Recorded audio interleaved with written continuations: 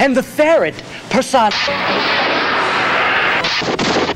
There's this great beach movie on here. I got some popcorn. Do you want any? What are you doing? It'll be fun.